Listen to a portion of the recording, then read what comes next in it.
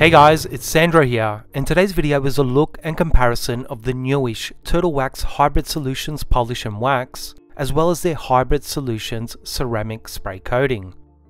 So briefly, the Polish and Wax is more or less an all-in-one polish that's used to remove and fill light swirls or paint defects, as well as leave a protective wax or sealant layer behind. While the spray ceramic coating is more or less an SiO2 based spray sealant used to protect automotive paint which can also be used over the polish and wax.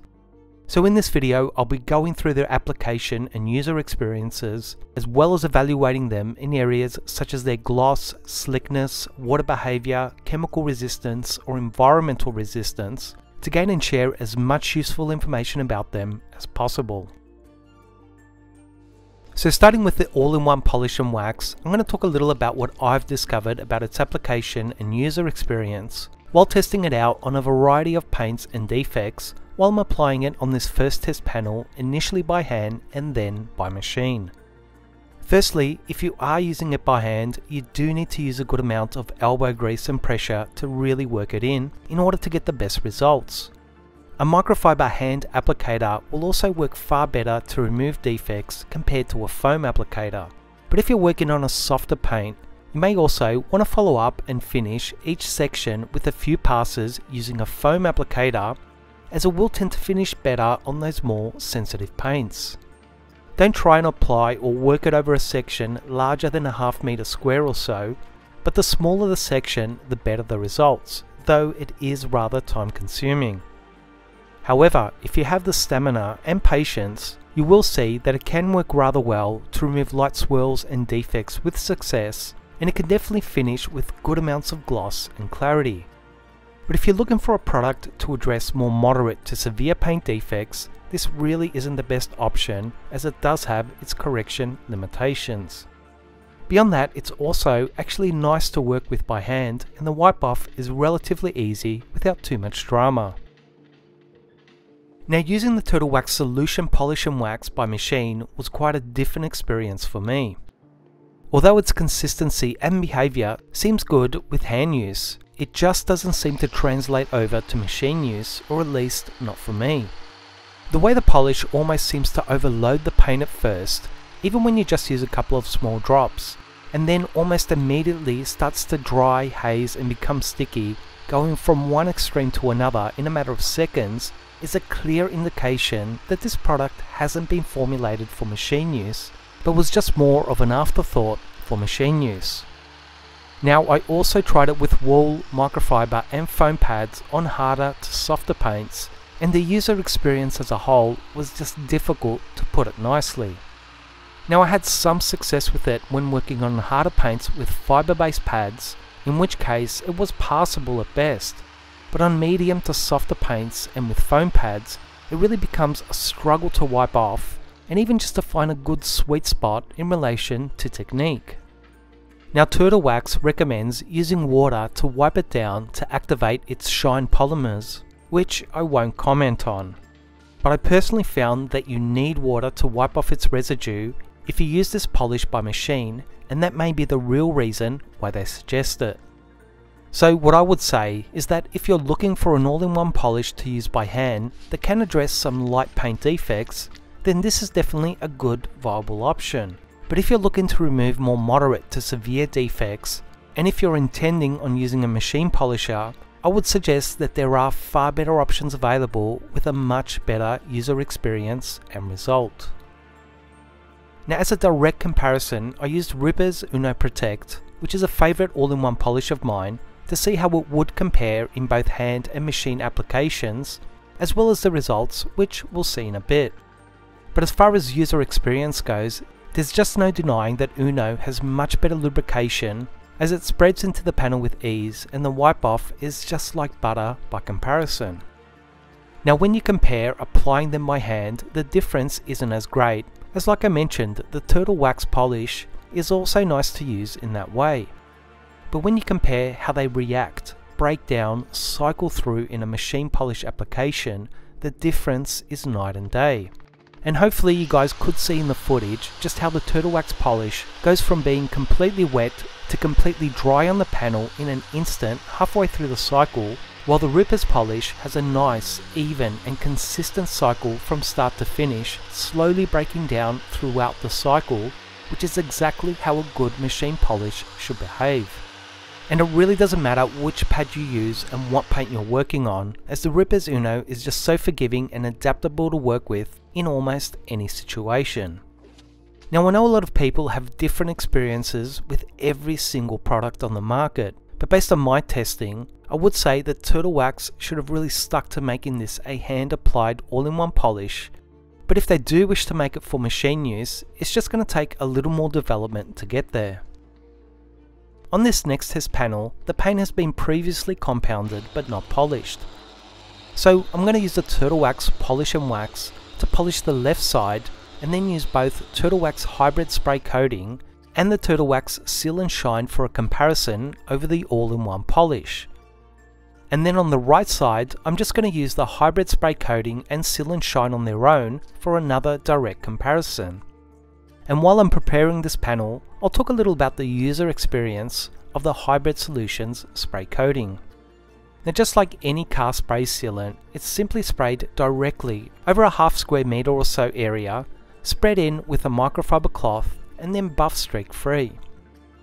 Now if I'm comparing the new hybrid spray coating to Seal and Shine, I'd say it's actually a little easier to apply than Seal and Shine with less chance of any streaks left in the finish and I also had a go with it outdoors in direct sunlight. And although I really wouldn't recommend it, as is the case with most spray sealants, I did discover that it is a little more forgiving to apply in those conditions. So it does seem like the new Hybrid Solution spray coating is nice, easy and a little more forgiving to use when compared to Seal and Shine, which is great to see. Now Turtle Wax doesn't seem to specify how long you should wait, if at all, to top the hybrid polish and wax with their spray coatings. But based on using past all-in-one polishes, I've personally found that between 2 to 4 hours is usually a good time frame to allow the resins in most all-in-one polishes to harden before adding a top coat. So that's what I stuck to, and I had no issues with streaks or difficult applications when sticking within that time frame. So after giving the panels 3 full days to cure, the first test was assessing their defect removal or filling abilities as well as the gloss and saturation levels that these products can create on automotive paint. Now starting with the first test panel, hopefully you guys can also see and judge the results for yourselves, but as far as gloss and saturation goes, I think all four sections look rather good with a great improvement across the board, which is fantastic to see. However, when we look at the defect removal or filling ability in relation to existing swirls and scratches, it is a little different. The section with Rupes Uno machine applied is without a doubt the standout here with the greatest improvement, also perhaps having the best gloss and saturation levels overall, especially when you compare it to the machine applied section with the hybrid ceramic polish. But when we compare the two hand applied sections, the difference is far less and with both products having a similar result, though I'd still say that the Rupes Uno section has removed or filled a few more of the scratches. So what I would say is that as far as gloss and saturation goes, it's actually close, which says a lot of positive things about the Turtle Wax polish, as Rupes Uno is really great in that area. But as far as defect or filling abilities go, it's just not quite at the same level of Rupes Uno. Now on the second test panel, it's actually a little close again between all four sections in relation to gloss and clarity. But it's fairly obvious that the left side of the panel that was polished looks much better, with more of the haze and swirls removed or filled in. But between the hybrid solution spray coating and seal and shine in both sections, I'd actually say that seal and shine just looks a touch better. Now it's not a massive difference between them, but regardless of whether they're used over the hybrid polish or on their own, Seal and Shine just does look a touch better by comparison. Next was testing out the slickness or lack of friction that these sealants create on automotive paint. Now once again I'll have to say that there honestly wasn't a great deal of difference between all four sections and they all felt and behaved rather nice. But there were some more subtle differences with the second section that had hybrid polish topped with seal and shine being just slightly slicker with less friction than the rest.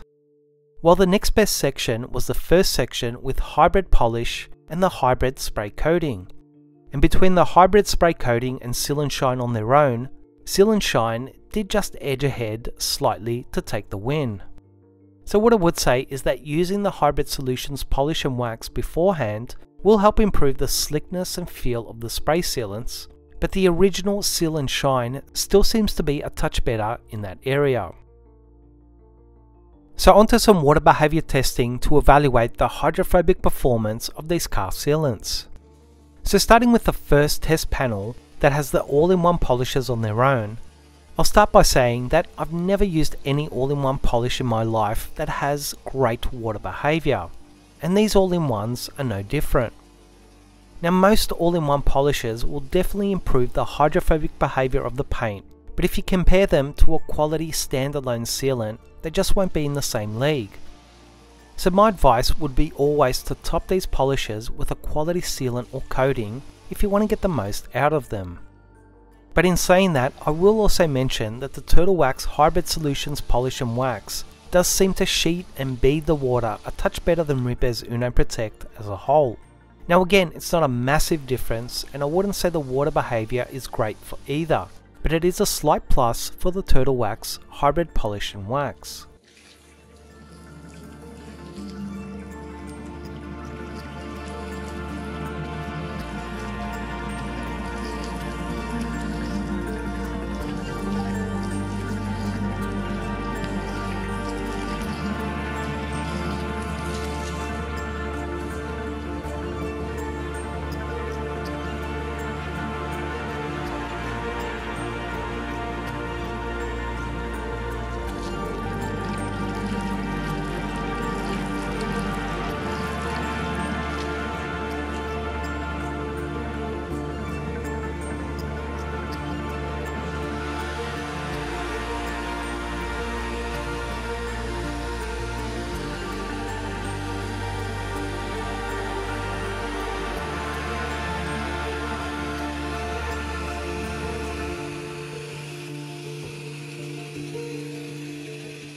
The next test was chemical resistance to try and estimate their resistance to environmental exposure and contamination.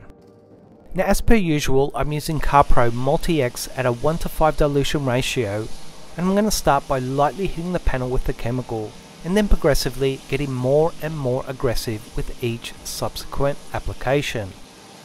As you'll hopefully be able to see for yourselves, much like the previous water behavior test, the results were again quite close, but the turtle wax was just slightly edging ahead here in relation to chemical resistance. Now based on testing Rupes Uno in the past, it's actually quite decent for an all-in-one polish when it comes to chemical resistance.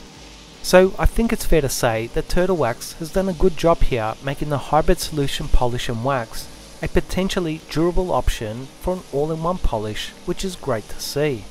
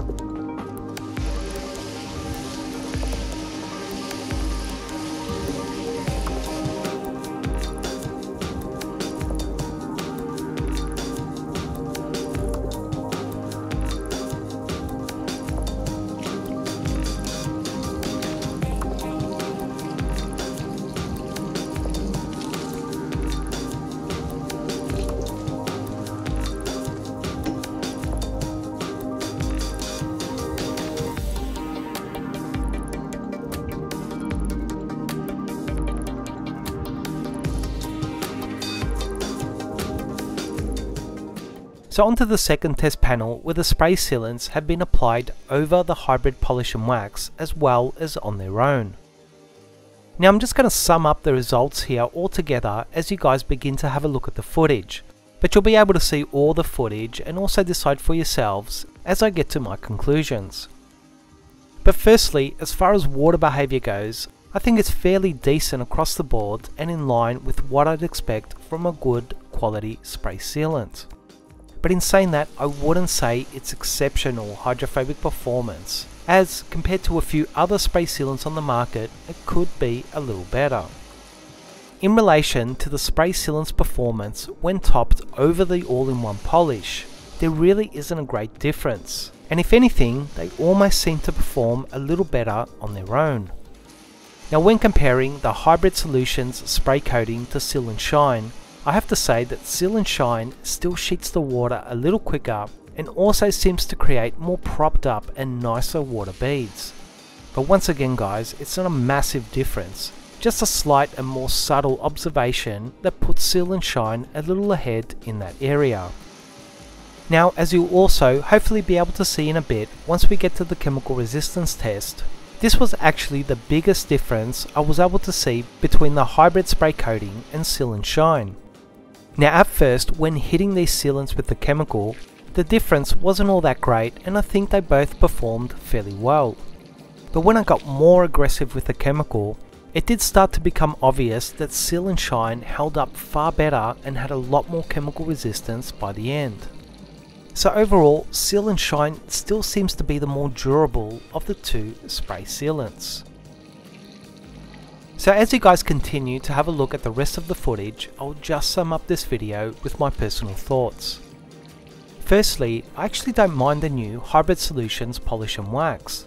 It does what it states to remove and mask minor paint defects and helps improve the gloss of the paint. So if I was looking for a hand applied all-in-one polish, it would definitely be a viable and potentially great option. Also considering that its water behaviour and chemical resistance seems rather good. Now I know turtle wax is a lot cheaper in other parts of the world, but for me locally it's actually more expensive than Rupes Uno which costs about $60 for a whole litre, while the turtle wax is $38 for only 400 mils or so. And when you consider that the Rupes Uno, as well as many other all-in-one polishers, also tend to work far better when machine polishing and potentially have a little better defect or filling abilities, it's hard for me to justify getting the turtle wax, but that may be a different case for you based on where you live and your needs. Now if I was to compare the new hybrid spray coating to the original Seal and Shine, I would say it's very similar in relation to gloss, slickness and even water behaviour, with the most obvious differences being that the new hybrid solution spray coating is a little easier to use while Seal and Shine seems to be more chemical resistant and potentially more durable.